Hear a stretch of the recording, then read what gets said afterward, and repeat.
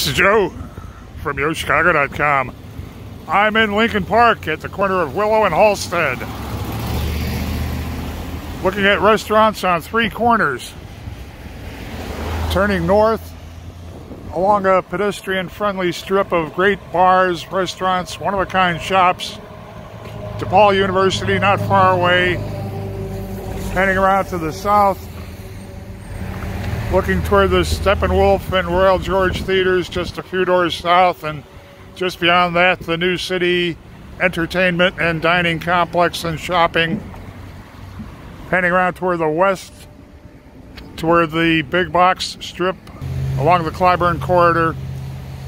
This is a terrific location, and I'm headed across the street for a walk through one of the apartments by Local by Laramar. I'm in a one bedroom apartment on the second floor looking out at something everyone's to want. Back porch, looking into the treetops. Turning around for an open plan living dining kitchen area. Breakfast pass through into the kitchen. 48 inch upper cabinets and about 10 foot ceilings here. Wow.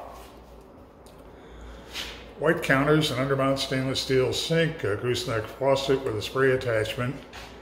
You have under cabinet lighting.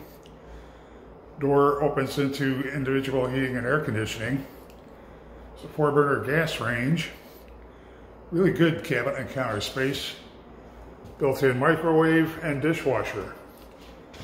Panning around for a look at another really unusual feature, wood burning fireplace. Plank flooring extends throughout the apartment. Looking back at the entryway, off to my left, I have a linen closet or pantry, depending on how you want to use it. And then a bedroom that can accommodate any size bedding, nightstands, additional furniture. And there's a wide wall of closets. Two windows Directly across from the bedroom, we have a fresh looking bath, this bank of drawers for storage, a wall wide vanity, designer lighting up above, front entry intercom as you would have entered the apartment, and a coat closet.